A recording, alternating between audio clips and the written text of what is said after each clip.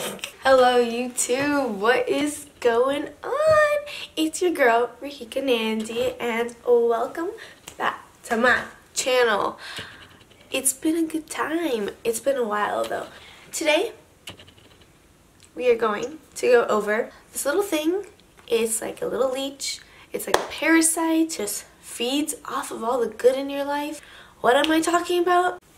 The S word. Stress. So stress is something that we all deal with. It's just always going to be there because we as humans tend to overthink, overcomplicate, and make a big deal out of things because we're all just drama queens. So this video is going to be about what you can do as a drama queen yourself to not fix stress, but alleviate as much as possible. This video is for you. I may not be necessarily the best person to be saying all these things, even though I do most of them. I'm still one of the most stressful people I know. Okay, yeah, I stress myself out, but like, I'm still one of the most stressed persons, the people that I know. And so I might not be the best at doing this video, but you know what? I'm going to attempt. So, let's solve your problems. I've come up with 30 different ways that you should alleviate stress and I just started writing down a list and a lot of them are honestly bullshit but like it's okay. We will we will figure it out. Yeah. So let's get right into the video.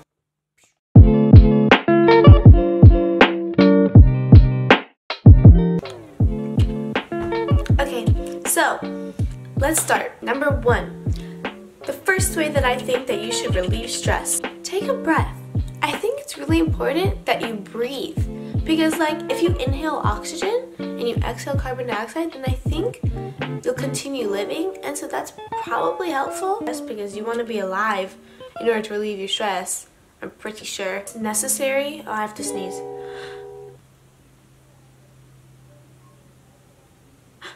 No, it went away. Why is sneezing such a big problem in life? See, now I have goosebumps. Breathing is really important in life. Okay, number two. I think that if you're working already right now, you should make a plan or a to-do list. I do this all the time. I have this really ugly notebook. It's got so many positive messages on the front like, hey you, and nap queen. Oh my god, there's a pizza. Oh my god, I did not even realize there was a pizza. There's a pizza at the bottom. So much better. Okay, I'm sorry for hating on you. Pizza's good. But this is my little notebook and I write my schedules and I write timetables. I feel so satisfied when I can cross things out off my list and I'm like, go through. You just did that. You did that.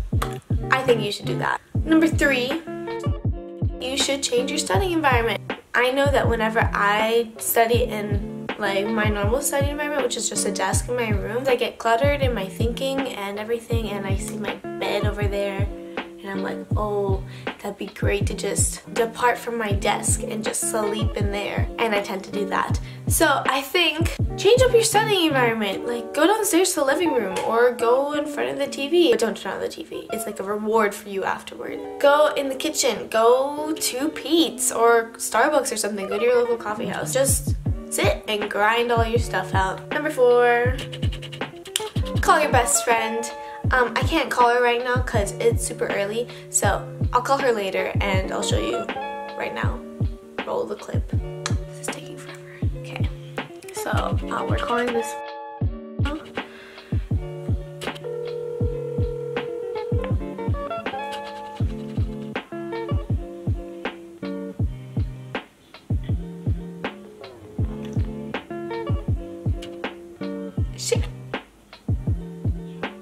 Okay, now this, her name is real now. Oh, she's FaceTiming me. Hi. Hello. I'm making a YouTube video.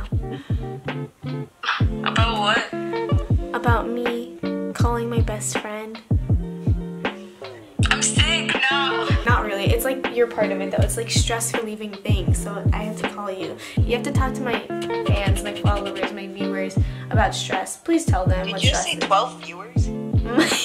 Yeah, probably only 12, but like, yeah.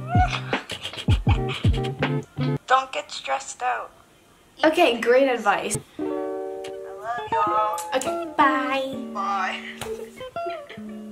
That was number four. You should call your best friend. Okay, I'm back. So yeah, as you can see, calling your best friend is very helpful. Not only do you feel better about yourself, but like they feel good that you call them. It's it's a good cycle. Number five, and now I've run out of fingers that I can hold up, so I probably use text now. Okay, number five, to make little positive or motivating cards for yourself. I do this all the time, like a key word or a key phrase or something, or even like a quote that I've heard before. Put it up on my wall as a sticky note.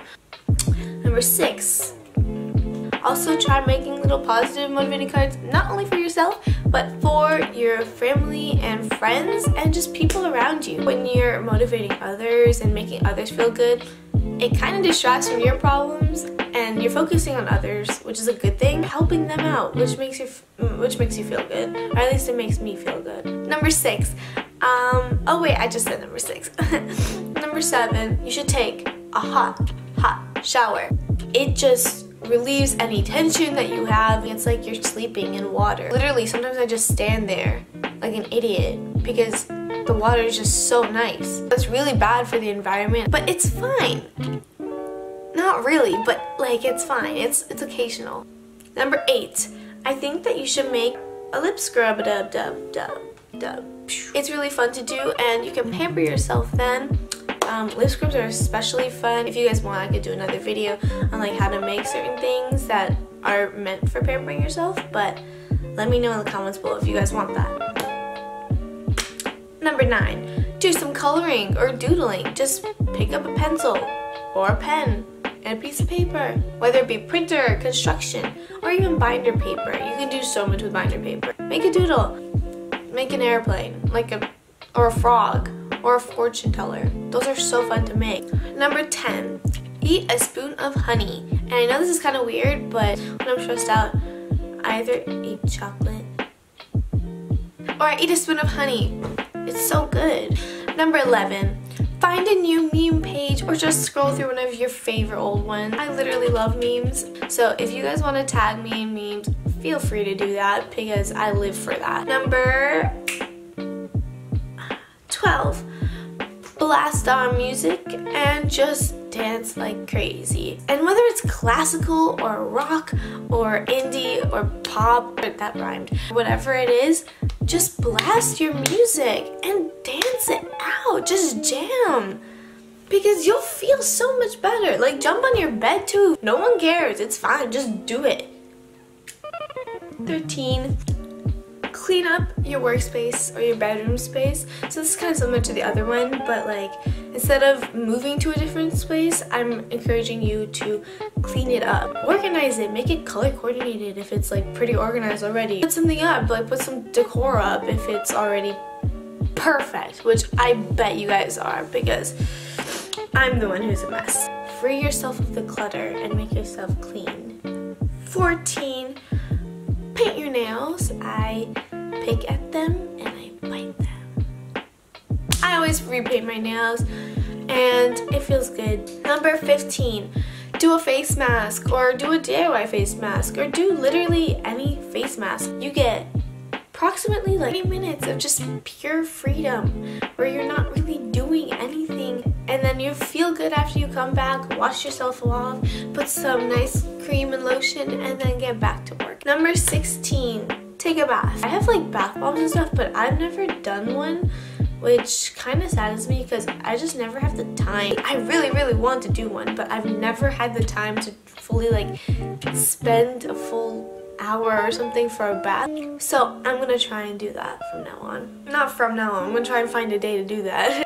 17, indulge in your passions for a full hour. Just do it, you know? Just take an hour away from your work and just do something else for a little bit. Something that's also useful and something that helps you grow as a person, but not towards all the grinding material. We can come to that later. 18, give someone a hug. Hugging people really re releases hope. Uh, if you're a person who doesn't like touching, then just at least say hi and smile at someone because you'll make them feel good and you'll feel good and that's all there is to it. Number 19. Okay, this is about eating. I recommend, and according to my practice, you eat something unhealthy and then you eat something healthy so you feel okay about yourself. For example, you know those like European chocolate box cookies that you get at I don't know, is it is it Costco? You get those in bulk. Just get one of those, eat a few from there, then afterwards eat like an apple or like celery or something. That's like still healthy and still good, but like not chocolate. Number 20 cute animal videos, whether that's Facebook, Instagram, or YouTube, just go on those and look up cute animal videos and you're gonna find so many things that are so stress relieving and so freaking adorable that you're gonna just want to poop yourself. 21. 21. You should start writing about whatever's on your mind. In a journal, on a blog, or like, like a notes pad. Like it doesn't need to be published anywhere actually. You just start writing about it. You'll feel better about yourself. Number 23, take a walk. Take a walk outside or take a walk around the block.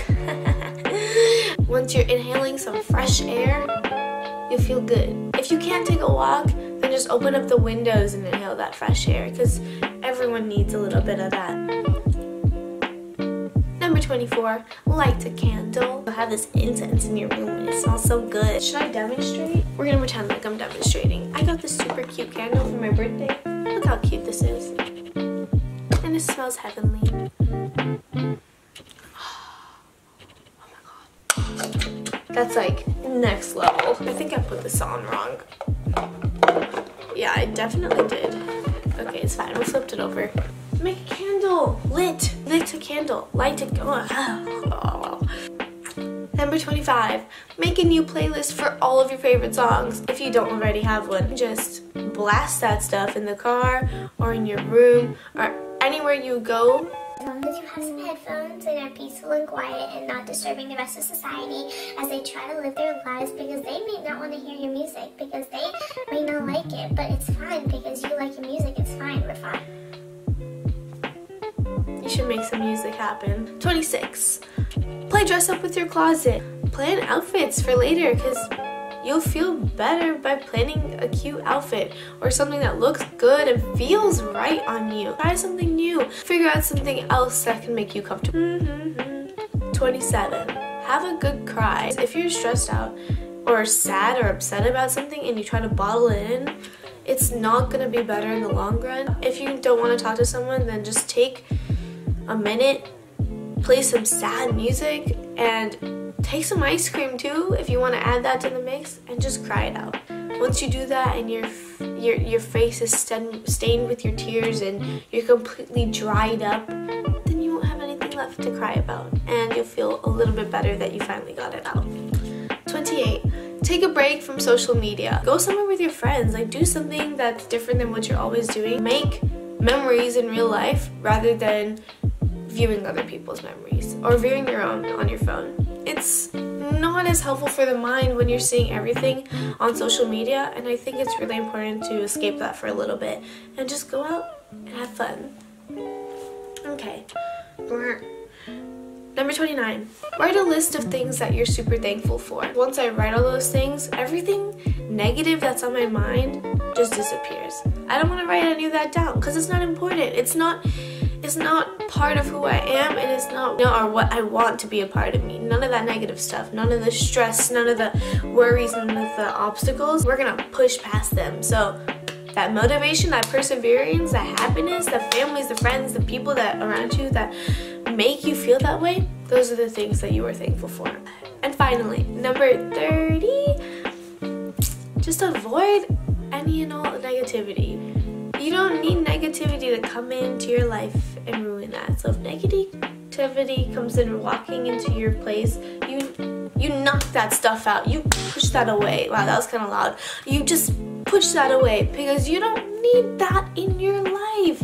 It's important to be happy with who you are and happy with everything you do have currently. Every single one of you, and I mean every single one of you, every single one is capable and has so much potential in life. You really should not be stressing about things that are unimportant to you. That is 30 and that is the end of my list. I'm thankful if you guys stuck around to watch all of that. I know that was kind of long, but I hope you enjoyed it and please comment down below if you have any more ideas because I also am a stressed out girl. I'm in high school doing senior year, trying like nonetheless to maintain all of my stress levels and keep them lower comparison to the expectations which are up there. So tell me what you think of that list and hopefully you liked it. Thanks again for watching my video. Like, comment, and subscribe. Do all of that stuff if you're feeling it. And I'll see you in the next video. Uh, yes, I love you guys. Bye. late for school now.